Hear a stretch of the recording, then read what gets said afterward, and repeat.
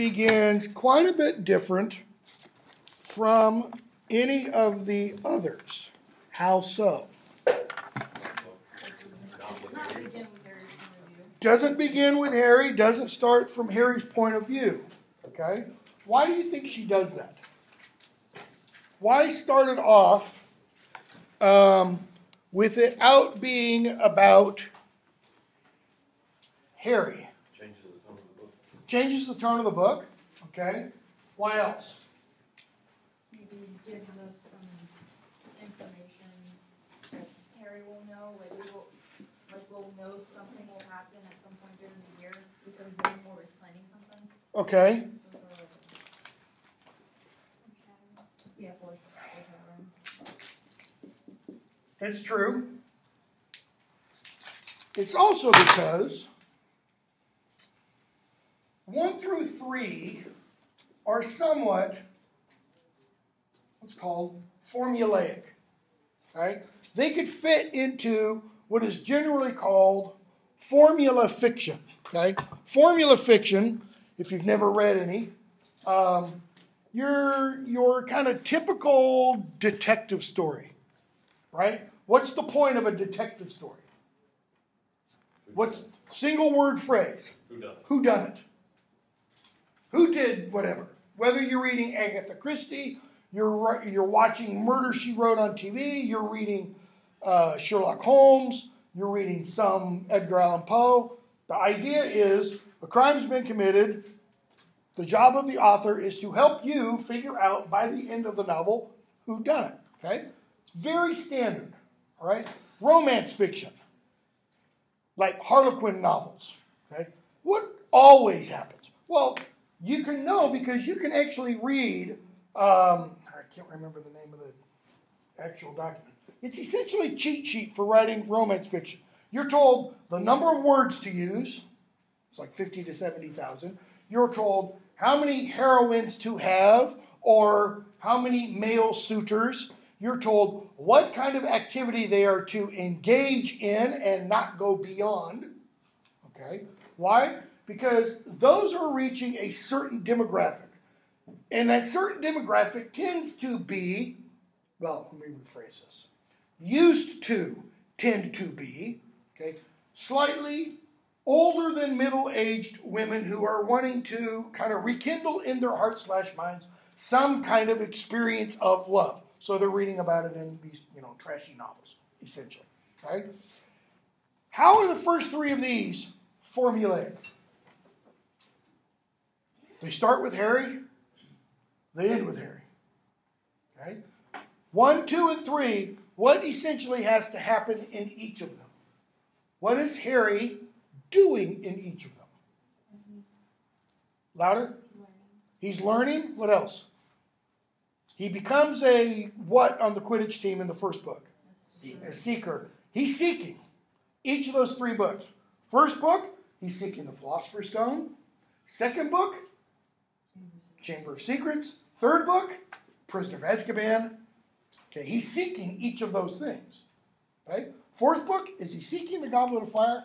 No, because it's set out right in front of him. So what he's seeking is not nearly as clear. Okay? They all begin at number four Privet Drive, as I, as I already said. This one doesn't begin at number four Privet Drive. These all, with the exception of Quirrell, don't have any deaths. One through three. Again, with the exception of Quirrell. But Quirrell doesn't die, you know, some violent, horrific death. Are we actually ever told that Quirrell dies? He doesn't, you know, disappear into a bazillion specks of dust like in the film. All right? Here, you may not have gotten to it yet. We do have our first death. It's an active death. It is a murder. It's not accidental. Okay? And from this point on, bodies are going to start dropping. It's like we go from kind of a, a classical um, comedy, if these were plays, you go from a classical comedy where in a comedy you have um, the play begins, I'll use Shakespeare's Winter's Tale. Which isn't quite a comedy, but it kind of works a little bit. You, you start with a society that is at the very beginning of the play, okay, there's nothing wrong with it. And then something ruptures in society. Something starts to rip the society apart. In The Winter's Tale, if you saw that, saw it, what's the thing that rips the society apart? It's when King Leontes accuses his wife, essentially, of being a whore. Publicly. In front of everybody. Okay? He sees her pregnant belly and he says, You have mistaken Polixenes, the other king, for me. He's the one who got you pregnant. Okay? Yeah, that pretty much rips society into shreds. So then the remainder, in a, in a typical comedy, the remainder of the play is about how that rip gets sewn back together, how that society gets restored. Tragedy, you start off with everything fine, and then it all gets destroyed, and then it ends. and the person who does the destroying dies, usually. Okay? uh, Shakespeare. Harry Potter, you've got the comedy kind of aspect in the first three. You don't get that in the last three, or even in this. So in the first three, we get kind of the intro to the world.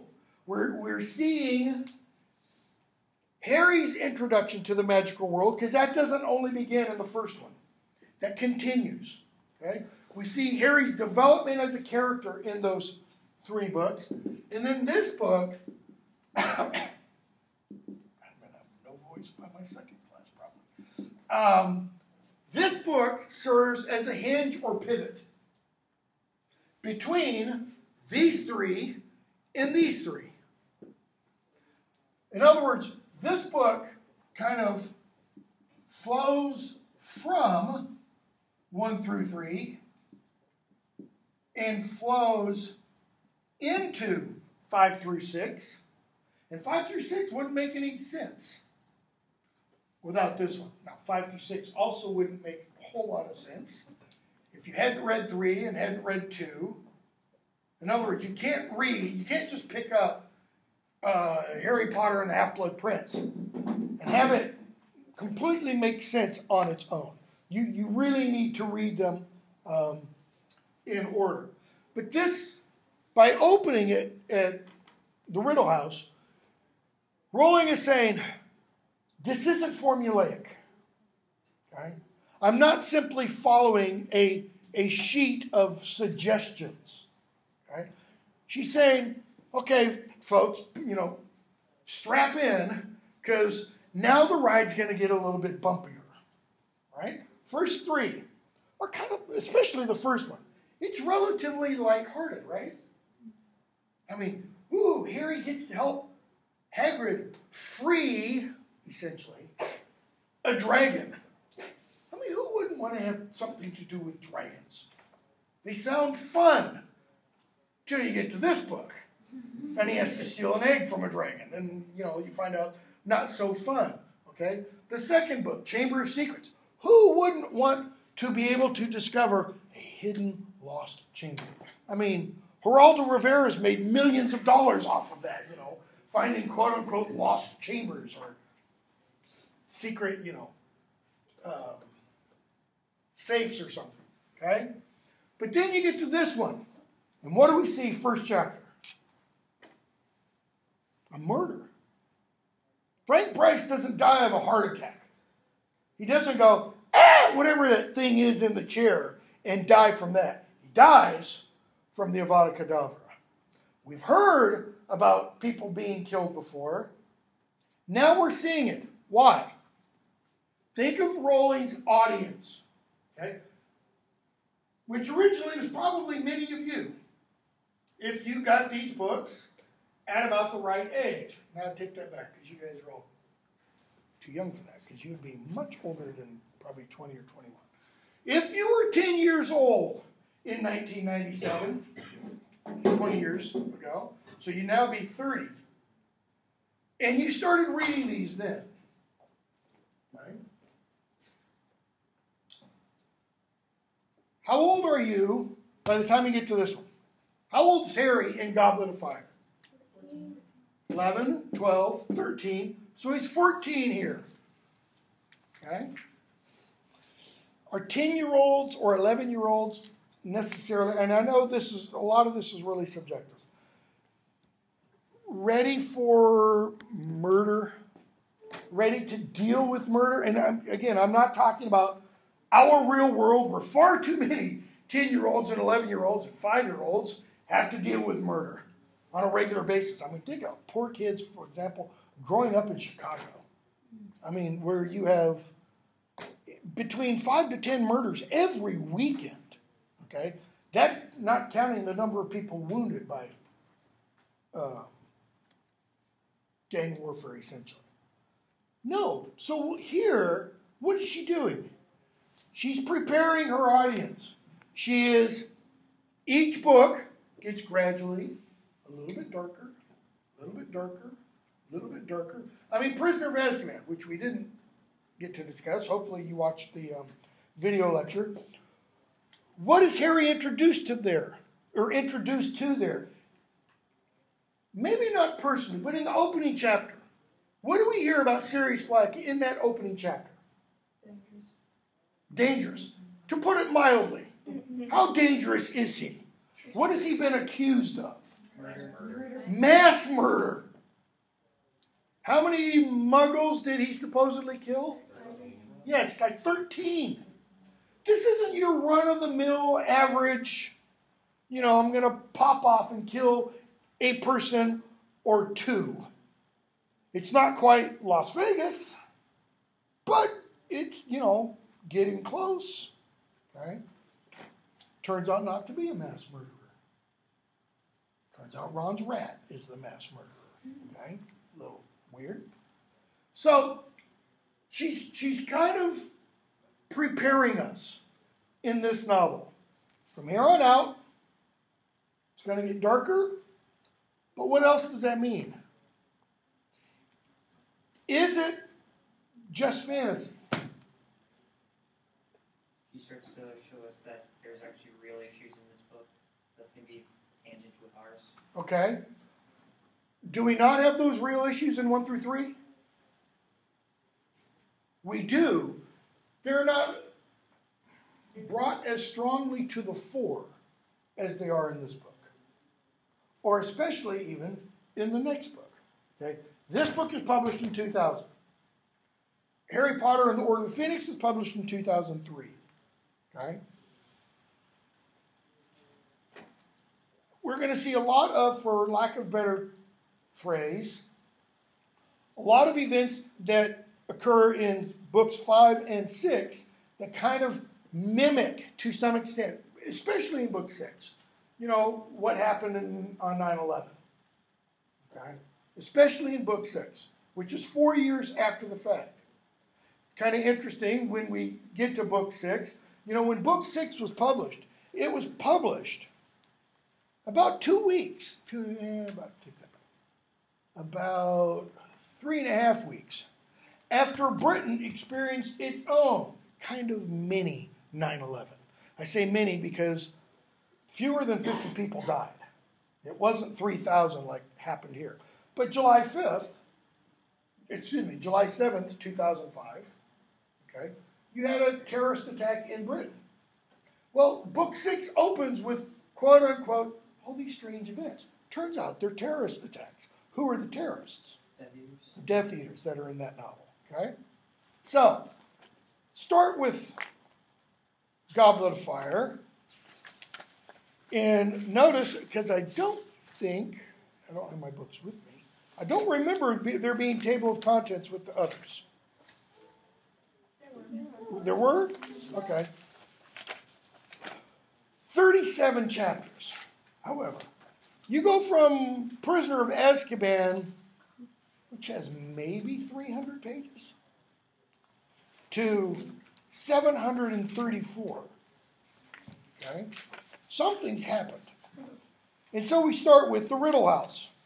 That's a quick question. Yes. The difference between the length of books between one and three and four on, did her publisher take her reins off basically and just give her however many words she wanted?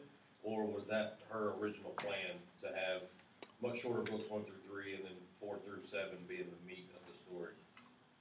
Can't answer that.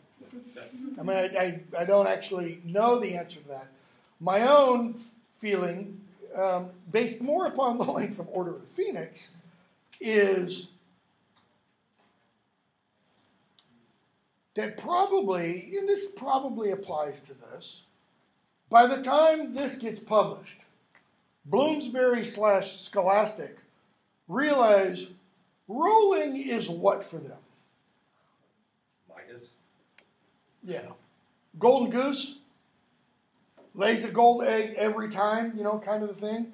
She's a cash register, man.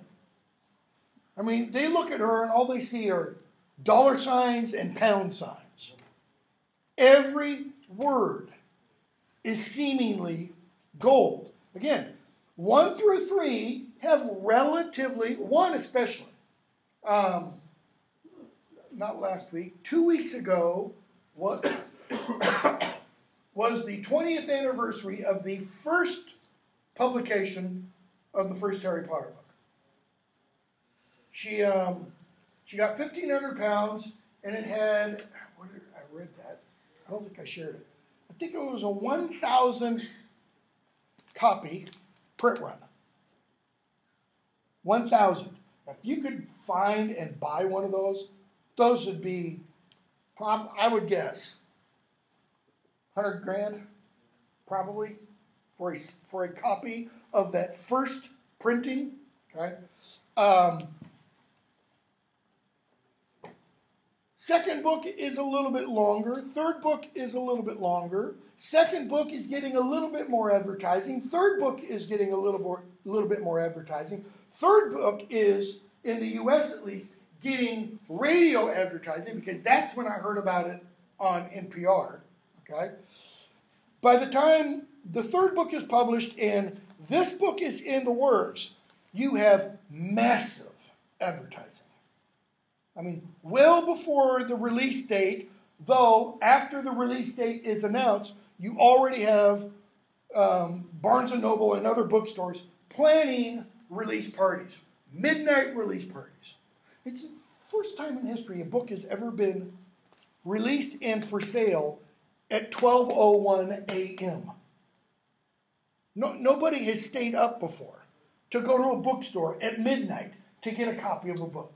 Okay, this one they do, and I think one of the reasons it's so much longer is partially because they didn't want to cut any words out because they realized people are going to buy this thing really no matter how long it is. If if she had written book seven a thousand pages, I think it would have sold as many, if not more, copies. Because people go, ooh, there's more to drool over, you know. Like another 250 pages of just the epilogue. It's kind of what Harry Potter and the Cursed Child is. Don't buy it. It's absolutely horrible. From students, however, um, when I was in London in spring of summer of 2016, when the play came out. Students who saw the play said it works as a play. One of the reasons for that is you're not paying as close attention to the writing. The writing my dog could do better than. It is horrible. Right. I mean, I couldn't finish it. I got 50 pages in and wanted to use it for toilet paper, essentially. It's, man, it is so bad. It's like fan fiction. Yeah. Not even well written. It's, yeah, it's Like, bad it's fan so fiction. I mean, it's like eight year old fan fiction. I mean, it is trite, is, is too high a praise um, for about it. it, like people talking about how bad it is, and you're like, it can't be that bad. That was my opinion, and I bought it, and I was like, oh my god, it's that bad. So it's Well, didn't, didn't J.K. Rowling actually wanted to stop after something? She, Supposedly, she didn't write it. she didn't write it. No, she didn't write it. Some she other guy wrote it. she had influence in the writing. Oh, and that's it. Yeah, yeah, yeah. Um, but it, the text is approved by her. So they wrote it, and she kind of she gave it her what's called her imprimatur. Her this is approved by. But think of why she isn't, why she would not do that. If she doesn't do that, it's not going to sell, and it's J.K. Rowling at the top. Not, I have no idea even who the two guys' authors, who their names are. Um, anyways, so we start with chapter one, the Riddle House. And we're not going to go into all the details because um, I do actually want to try to get up pretty far. But what do we see in this chapter? Why is it significant? What's it, what's it leading to later on in the novel? Voldemort's back. Is he back back at this point? How is he described? Like a sickly looking child thing, reptilian. Sickly looking child slash reptilian lizard person thing. kind of. Yeah. Baby, like a baby. Okay. Kept in swaddling clothes, essentially. You know. He can sit in a chair and he has hands because he can wave a wand. And he's not a baby in that all he does is babble. He can speak, okay? But he has to be fed. How is he fed? By Nagini's milk. Okay, snakes don't have breasts, so where do you get snake milk from? Fangs. Get a jar, push it up against the backside of the fangs where their venom sacs are, and do that several times, and the venom comes out. So he drinks he drinks snake venom. Well, we've already seen him drink what? Unicorn blood. So, you know, how much worse can snake venom be after that? Okay? So, what are he and Wormtail debating when Frank Bryce overhears the conversation? And notice, it kind of is a debate. What does Wormtail not want to do? Louder. Okay, he doesn't, yeah, he wants to leave, but what else? He doesn't want to kidnap Harry. Why? He thinks it's a bad idea. Keep going. Why is it a bad idea? He's too well protected. So, what does Wormtail want to do instead? Get somebody else. I mean, we're not told what they need Harry for till almost the end of the novel.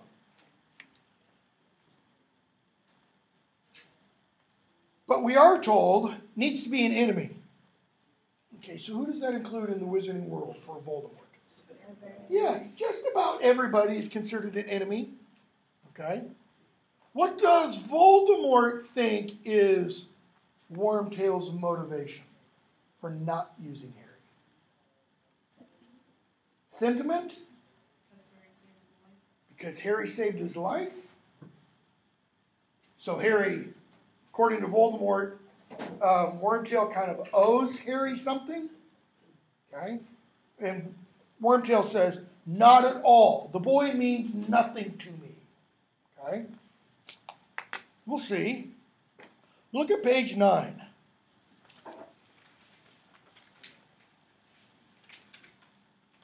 They're talking about Harry, and Voldemort says, I could use another wizard. That is true. Wormtail. My lord, it makes sense. Look at the next two words that Wormtail says. Or three words, if you want. Laying hands on Harry would be so difficult. What does he mean, laying hands on Harry? Isn't that strange? A strange locution? Isn't that weird verbiage for what does he really mean? Okay. I mean, he does mean that, but to what purpose? Taking him. You're getting ready to kidnap somebody. Do you say, Well, I'm going to go lay hands on him? No. You say, Kidnapping.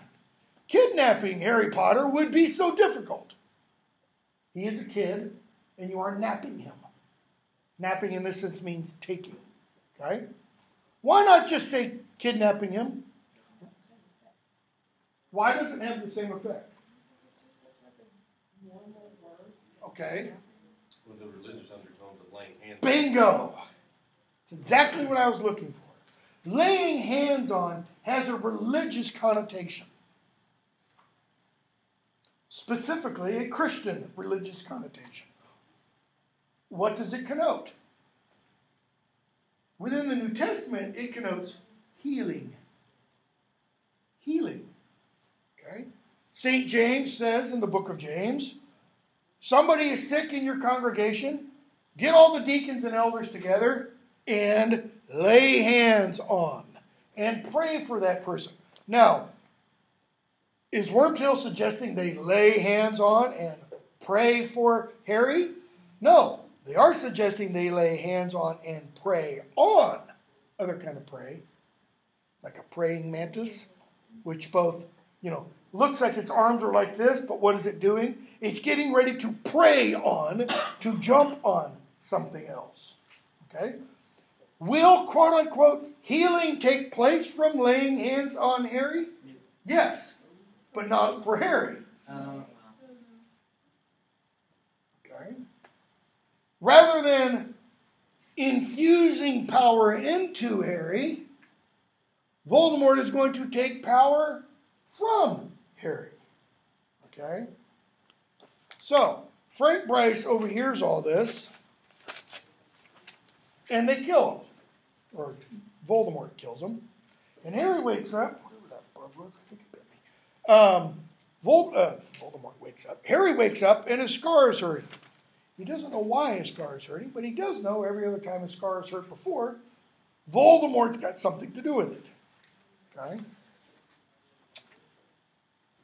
And hopefully you also watched the video on Chamber of Secrets because of what it tells us about Harry's scar and such. Um, so Harry sits there in his bedroom and he starts to think, tries to think, well, what would my friends say about the reason for my scar hurting? And he plays in his mind Hermione. Ooh, that's really serious. This is page 21. Write to Dumbledore, and I'll go look in a book. Hermione, solution to every problem found in a book. Okay? So he thinks, what kind of letter would he write to Dumbledore? Dear Professor Dumbledore, sorry to bother you. My scar hurt this morning. Sincerely, Harry Potter. Lame. Okay? He thinks of Ron then. Hmm, your scar hurt. Top of 22. But you know who can't be near you now, can he? I mean, you'd know, wouldn't you? He'd be trying to do you in again, wouldn't he? Always run, look on the bright side of things, you know. Voldemort's there to kill you. Let me ask Dad. Yeah, like his dad. Who works in what department? At the ministry? Misuse of muggle artifacts, like outlets. Ooh. He's really going to understand why he's scarred. No. So he thinks of Sirius. That's it. I'll write to Sirius because he's in contact with Sirius now that Sirius is free, but not legally free. So he writes him a letter, page 25. Says, um,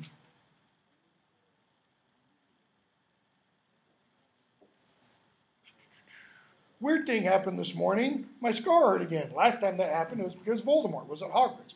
I don't reckon he can be anywhere near me now, can he? Question mark. Do you know if curse scars sometimes hurt years afterwards? What's the problem with that question about curse scars? Especially in Harry's context. Nobody's ever had one. Yeah, nobody's ever had one because usually somebody Avada Kedavras you, you're dead. It's it's not like you're mostly dead and then you come back. Okay, so he sends the letter off. Next chapter, the invitation.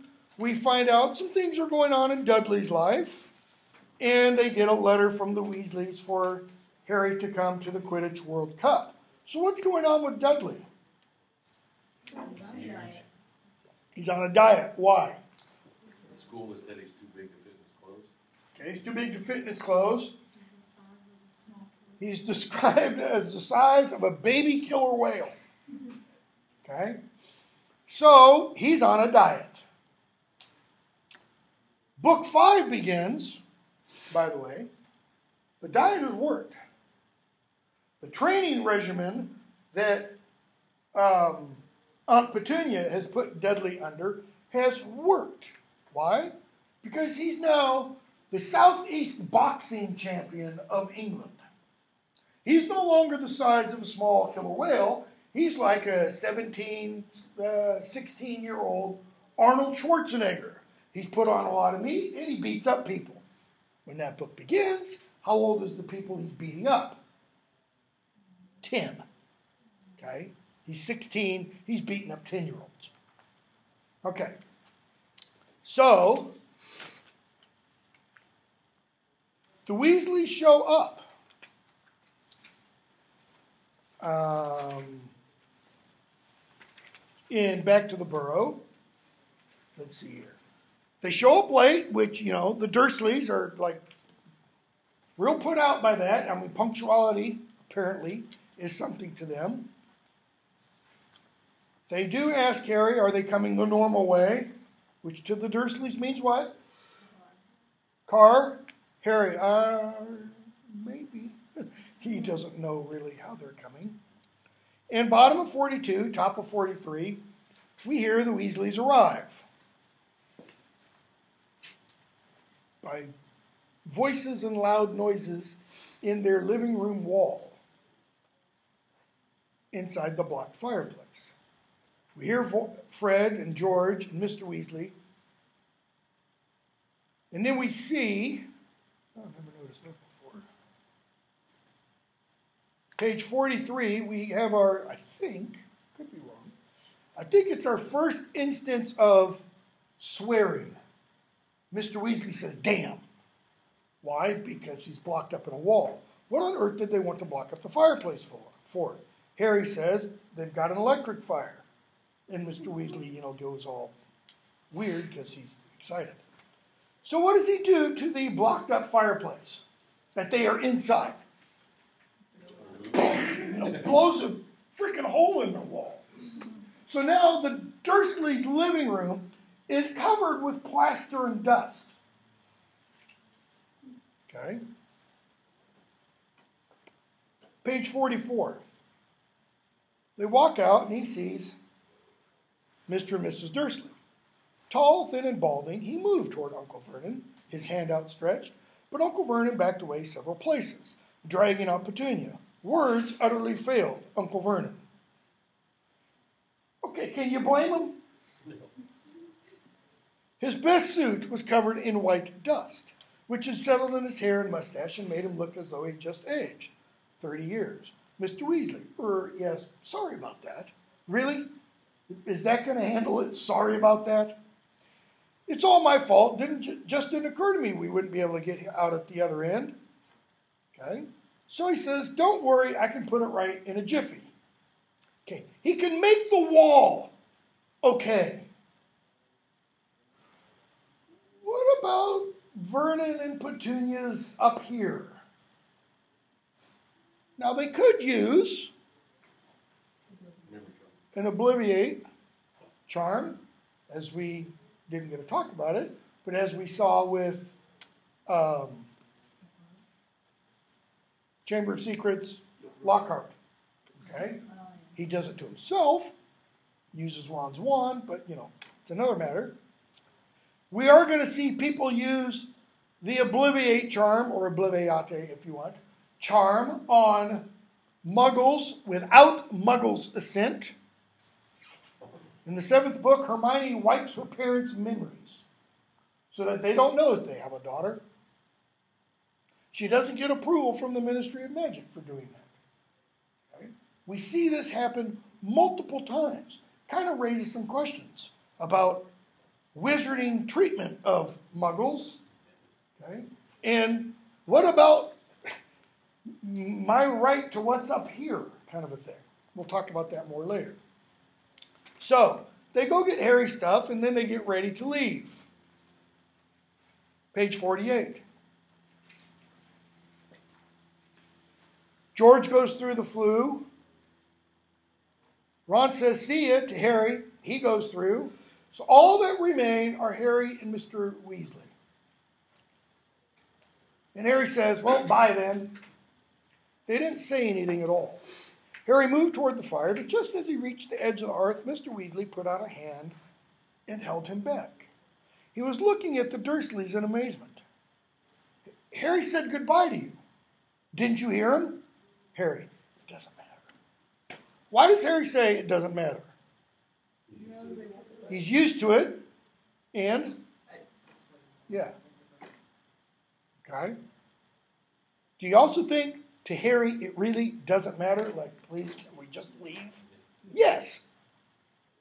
Because he gets to spend the rest of the summer with the Weasleys. Any time away from number four Privet Drive is like, you know, Christmas for Harry. Uh, honestly, I don't care. Mr. Weasley does not remove his hand. this is the fireplace. Harry's like, can we just go, please? Uncle Vernon's, excuse me, you aren't going to see your nephew till next summer. Notice what Arthur is assuming. Harry's not going home for Christmas break, and he's not going home for Easter break. Okay? Which is what both those breaks, by the way, are called in all seven of the novels. They're never called winter break, they're never called spring break. Okay? You aren't going to see your nephew t- till next summer. He said to Uncle Vernon in mild indignation. Surely you're going to say goodbye. What does he mean by surely? Say goodbye. Yeah, that's exactly what he means. Say goodbye to your nephew. Okay? What is Arthur assuming here? That Deers does actually care about Harry? Okay, that's possible. That the Dursleys do actually care about Harry. What else? Okay, that they have some common decency, which is another way of mentioning they have manners, or they show or practice courtesy. It is just good manners to say, see you later. Okay? Now look at the next paragraph. Uncle Vernon's face worked furiously. Okay, that implies his muscles are doing something and his face is going through different contortions. The idea of being taught consideration by a man who had just blasted away half his living room wall seemed to be causing him intense suffering. You know, like, wait, you're trying to teach me manners? Look at. But Mr. Weasley's wand was still in his hand. And Uncle Vernon's tiny eyes darted to it once before he said, Goodbye then. See you, says Harry, putting one foot forward and going off. Okay?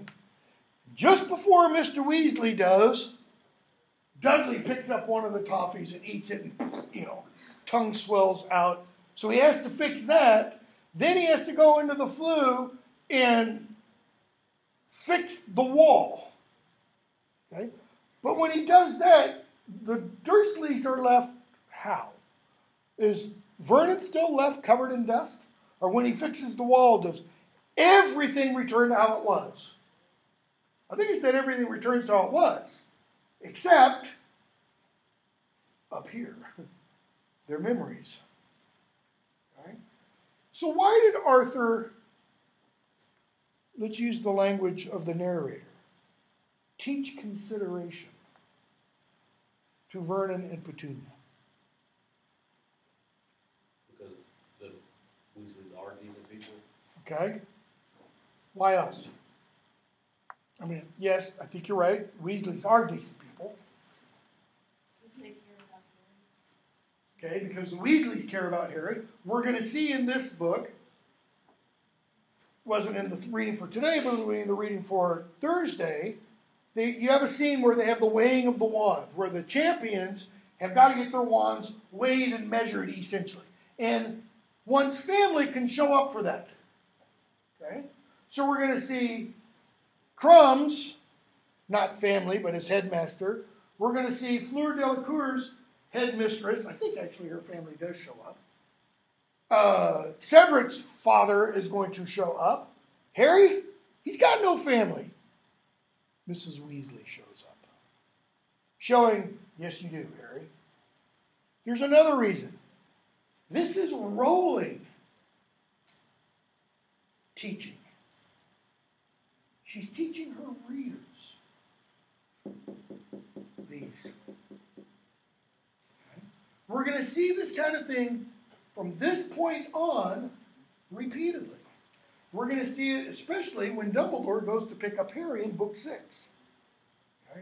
He's going to talk to the Weasleys about common courtesy and decency. Okay?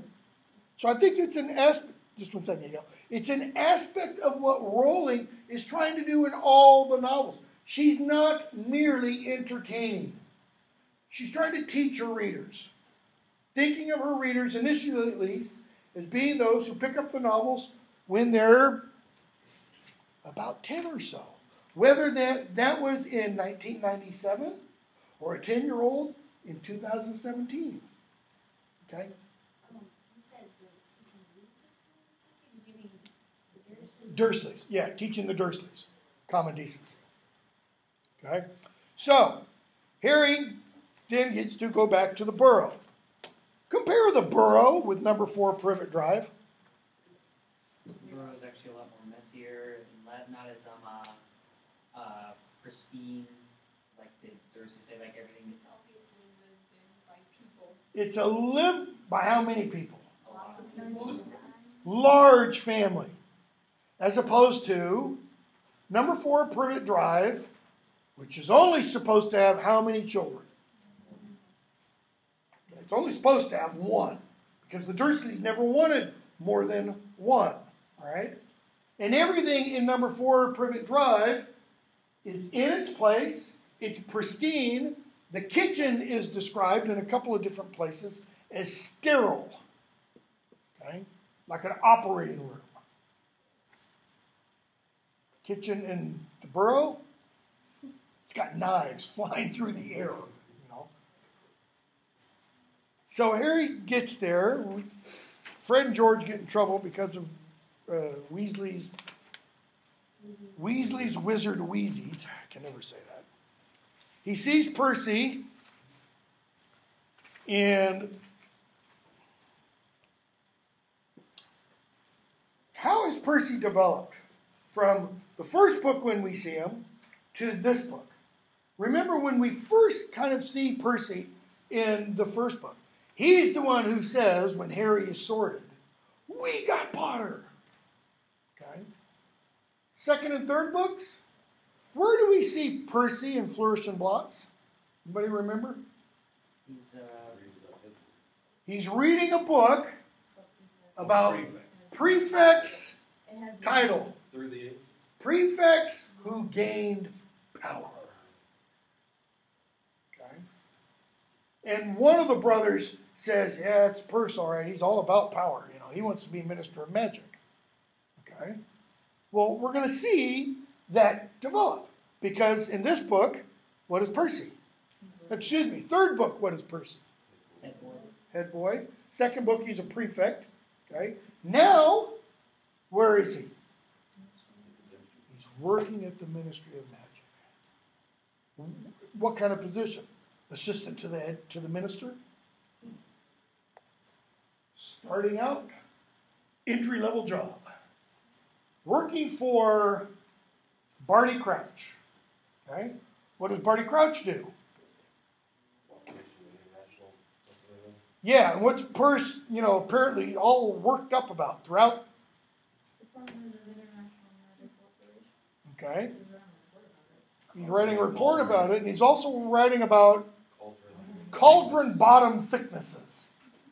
Because, you know, we're just getting a lot of cheap foreign knockoff stuff that don't have proper bottom thicknesses. And they're like, wow, so important. Such, wait. Department of Misuse of Muggle Artifacts, you know, kind of like father, like son. But does Mr. Weasley want to gain power? He's where he is. Why? Because he's happy. He gets to play around with muggle stuff all day long. Okay? So we hear about, we meet um, Bill and Charlie there. Chapter 6, we get the Portkey. Okay? They've got to go over to um, Ottery St. Catchpole, I think it is, to catch the Portkey. We're being told, you know, the Quidditch World Cup is a huge organizational nightmare. You know, they got to find a big open plot of land, first of all, where they can even set up the uh, pitch and all that kind of stuff. Page 71. Eh, yeah, 71. We meet Amos Diggory, Cedric's father. Okay? And we find out Amos works for the Department for the Regulation and Control of Magical Creatures. What do we know about them? Where have we heard about them? Uh, they were in charge of Bucky's like um uh. Prisoner of Azkaban. Yeah, his so-called trial, his his show trial, his you know Soviet trial, essentially. When when Buckbeak was quote unquote brought up on charges, was there ever any doubt as to the outcome? No, of course not. Okay. So we get introduced to him, and they all look at Cedric, and you know, hi Cedric. Bottom of 71. Everybody said hi except Fred and George, who merely nodded. They had never quite forgiven Cedric for beating their team, Gryffindor, in the first Quidditch match of the previous year. How did Cedric beat them in the previous year? Harry, why did Harry fall off his broom? Getting was he really attacked by them? No, they were just down there doing their Dementor stuff. And it was Harry that kind of freaked. Okay? So, page 72, uh, Amos realizes who is in this group. Merlin's beard. Harry? Harry Potter? Yeah. Harry's used to people looking curiously at him. Ced's talked about you, of course, said Amos Diggory. Told us all about playing against you last year. I said to him, I said, Ced, that'll be something to tell your grandchildren that will. You beat Harry Potter. Did he beat Harry Potter? No, Harry Potter lost all on his own, essentially. Okay? Harry couldn't think of any reply to this, so he remained silent. Fred and George, however, scowling. Cedric looked slightly embarrassed. This is important because it tells us something about Cedric's character that you don't get necessarily from the previous books. Harry fell off his broom, Dad. I, I told you it was an accident. Yes, but you didn't fall off, did you, son? In other words, well, we obviously can tell who is a better flyer. always modest, are Ced, always the gentleman. But the best man won. I'm sure Harry'd say the same, wouldn't you, eh? One falls off his broom, one stays on. Don't need to be a genius to find out which one's the better flyer. Right? So when we get to the first task, and we hear Ludo Bagman say through the PA system, My God, he can fly. What are we meant to believe? Yeah, we know which one's the better flyer. And if there hadn't been a hundred Dementors around, the snitch would have been in Harry's hand. Okay? But what does this tell us about Cedric? I don't think he likes how his father brags about him like that. Yeah. He doesn't like his father bragging about him, and it's because he's humble. He is, as Amos says, modest. Amos? No. No modesty. Why? Living vicariously through his son.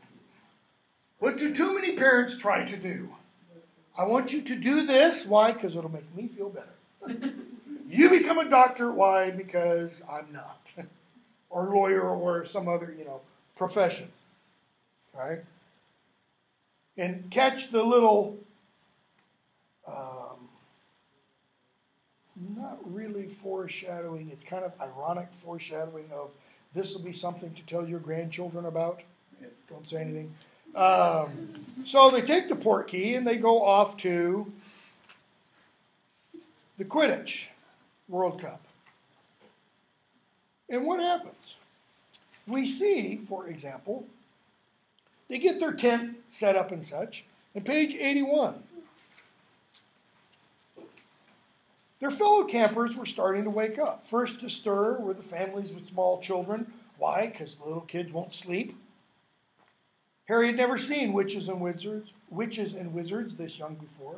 A tiny boy no older than two was crouched outside a large pyramid-shaped tent, holding a wand and pointing happily at a slug in the grass, which was swelling slowly to the size of a salami. As they drew level with him, his mother came hurrying out of the tent. How many times, Kevin, you don't touch Daddy's wand?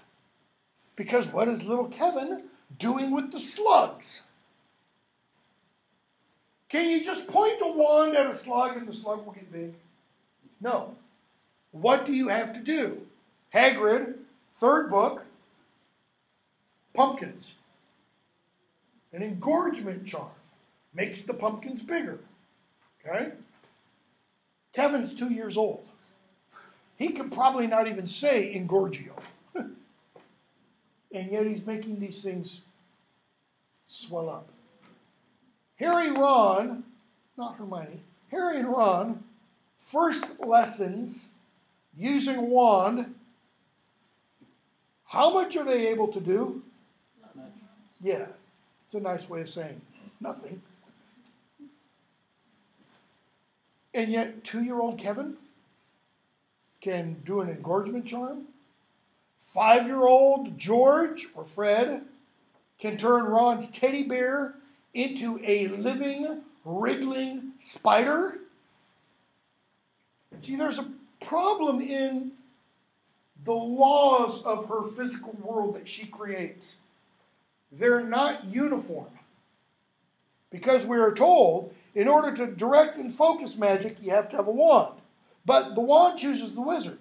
How well, for those of you who know, and don't get specifics, but how well later on, let's say book seven, is Harry able to do magic with Hermione's wand?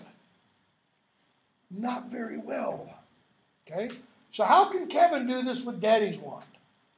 And whose wand do Fred and George use to turn Ron's teddy bear into a spider? That's an example. Those are examples of just bad writing, where she hasn't thought through all the particulars of her little world. Okay? It's not bad storyteller. Storyteller, she's up there at the tops. Writing, in terms of taking that story and making sure all the little threads are nicely woven into the tapestry, she's not as careful about. Okay? So, we go on, and we see Victor Krum. Uh, I'm going to skip a bunch. Um, we run into Oliver Wood. We see Cho Chang again. Please, someone just kill her now. Um, sorry for. Uh, none of that I want to speak about. We meet Ludo Bagman. Says he's looking for Barty Crouch. And let's pick up with the chapter, the Quidditch World Cup, which we're not going to actually talk about the World Cup itself. Do want to talk a little bit about what happens just before the Quidditch World Cup. They get up to their seats, top of the stands. Harry sees a house elf, and what does he say? Dobby? Why? Because apparently they all look alike. Okay? And Winky says, My name is Winky, sir. You, sir, you're surely Harry Potter. Harry, yes, I am. Dobby speaks of you all the time, sir. How would Winky know Dobby speaks of him all the time? Where is Dobby at this point? Free elf. Okay. Is he a free elf? He's gone to work for Dumbledore at Hogwarts. Do we're going to be told repeatedly house elf magic is not wizard magic. So, are house elves in different locations somehow able to communicate? We don't know. Maybe she's explained it in part. Okay, so Harry says, How is he? Oh, sir, Well, sir, meaning no disrespect, sir, but I was not sure you did Dobby a favor, sir, when you said it. Harry, what's what's wrong? Freedom is going to Dobby's head, sir. Ideas above his station can't get another position. Meaning, Dobby can't become what? Enslaved. Okay? Why? He wants pay for his work. Okay, now think about this. What's a house elf going to do with pay? Louder? Buy socks, buy socks. Buy a nice shirt, get rid of the snot rag, essentially, yeah. Okay?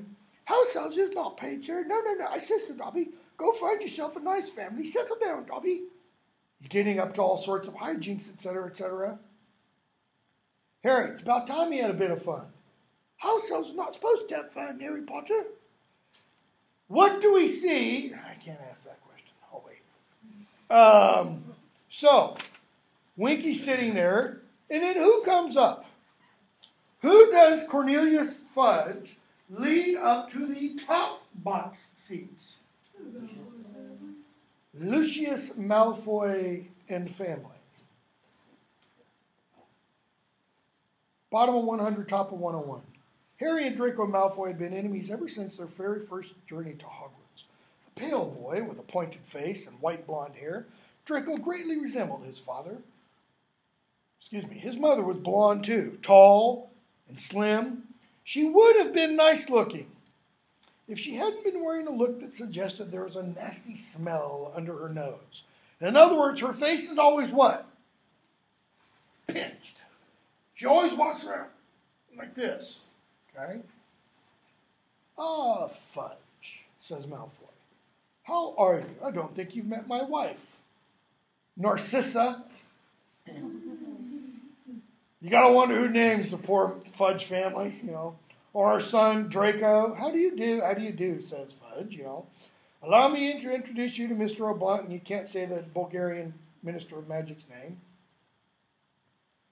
And then we're told it was a tense moment because Fudge introduces Arthur Weasley. Mr. Weasley and Mr. Malfoy looked at each other. Harry vividly recalled the last time they'd come face to face. When?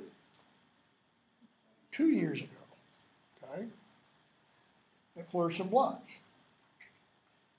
Mr. Malfoy's cold gray eyes swept over Mr. Weasley and then up and down the row. Okay? Good Lord, Arthur. What did you have to sell to get top seats in the top to get seats in the top box? Surely your house wouldn't have fetched this much. Fudge, notice, not listening, says Lucius has just given a very generous donation, contribution to St. Mungo's Hospital for magical maladies and injuries, Arthur. He's here as my guest. So, to become a guest of the Minister for Magic, what do you do?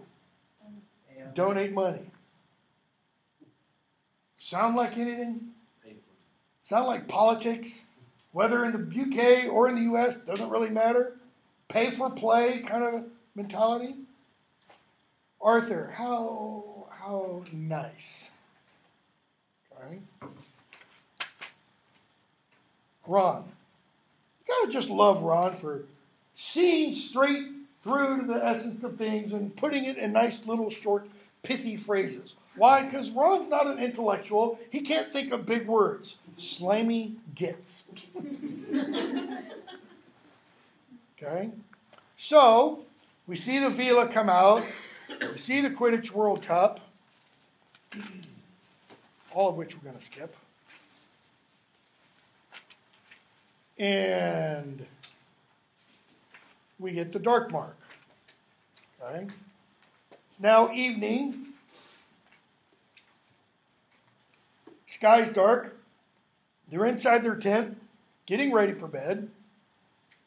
And Mr. Weasley comes in, tells them, Get up, get up, hurry up. Out. Okay? And we're told, page 119, they see fires burning, and Harry and Ron see people running off into the woods, fleeing something that was moving across the field toward them, something that was emitting odd flashes of light and noises like gunfire. Crowd of wizards, tightly packed, moving together with wands pointing straight up, was marching slowly across the field. They're holding their wands straight up because what is up? the Roger, excuse me, the Roberts family. Mr., Mrs., and I think two children. High above them, floating along in midair, four struggling figures were being contorted into grotesque shapes. Okay? So Harry, Ron, and Hermione go off to the woods.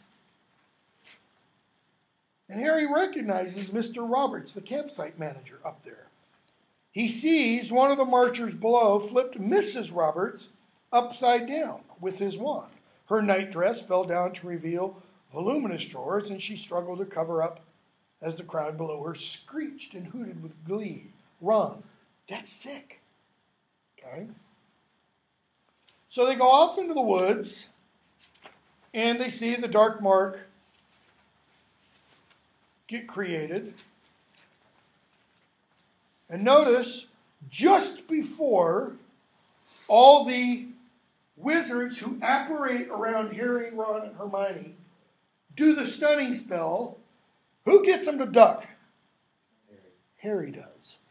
And how does he get them? Does he just say duck and he's down and they're standing?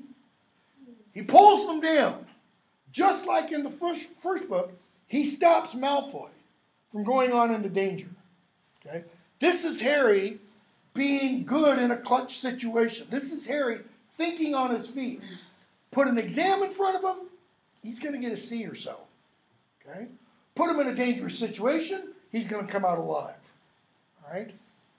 So, we hear all the discussion. We find out, you know, Barty Crouch is one of two people in that clearing who really has proven his bona fides, his good faith to everybody in the wizarding community about why he would not be somebody to conjure the dark mark. We don't know why until a little bit later.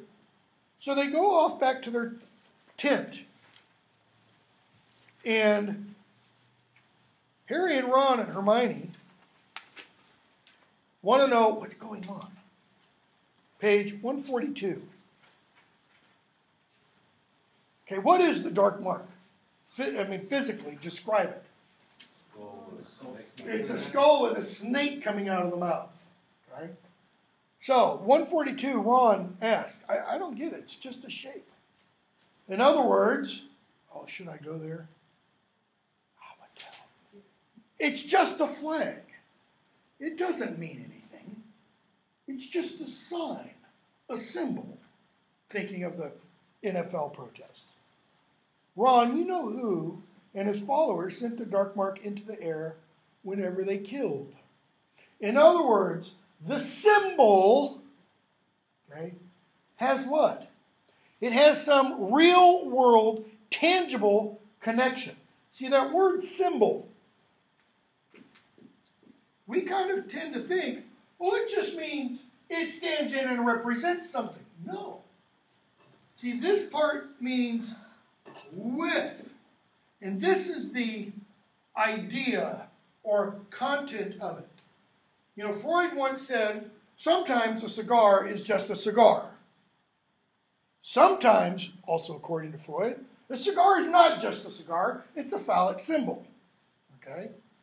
In both cases, when it becomes a symbol, it becomes physically tied to. See, this word is the opposite of that. We don't use that on its own. What do we do?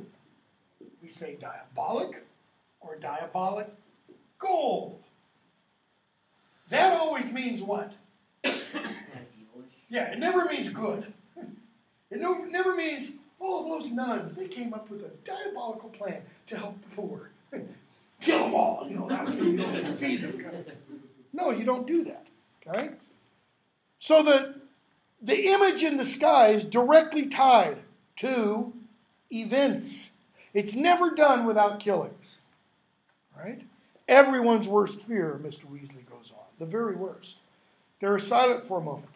Silent for a moment. And Bill mentions the Death Eaters. Harry, Death Eaters? Well, golly gee, Mr. Bill, what are Death Eaters? Like he'd never picked up a book about. So they explain. They mentioned they saw Draco in the woods. They assume Lucius was probably out there. And Harry says, I'm, time out. I, I, I don't understand something. I mean, what's the point?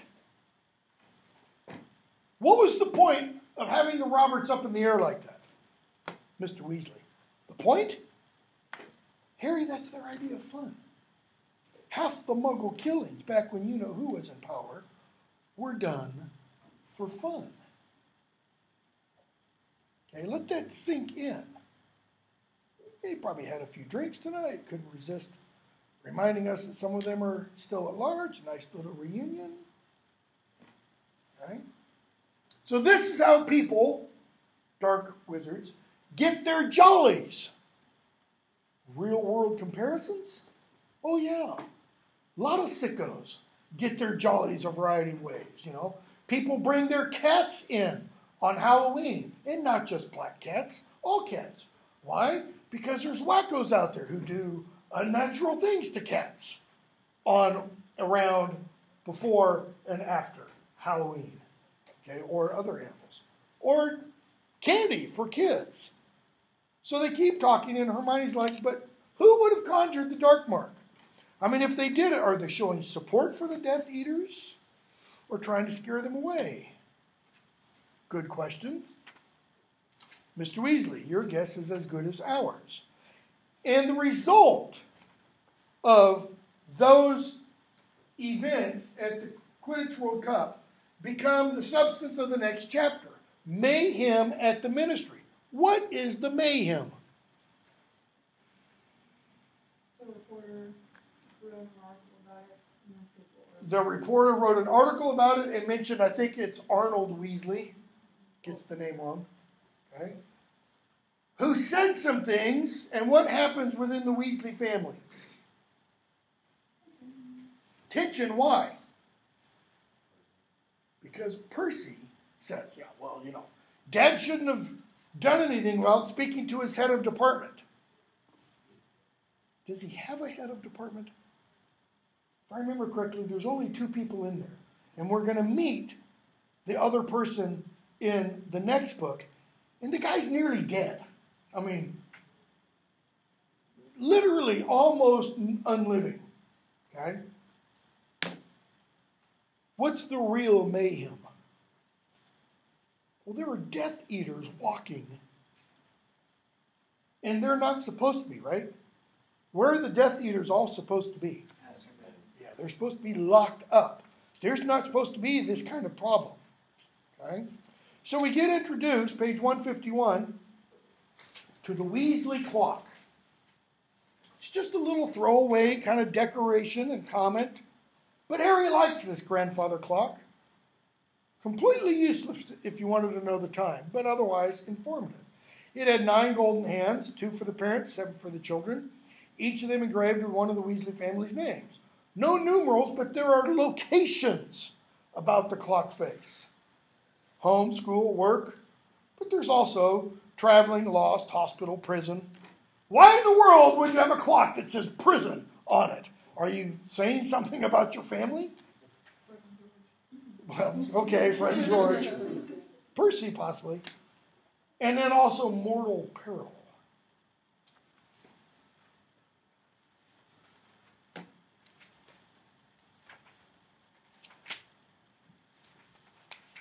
Um, we'll pick up with aboard the Hogwarts Express on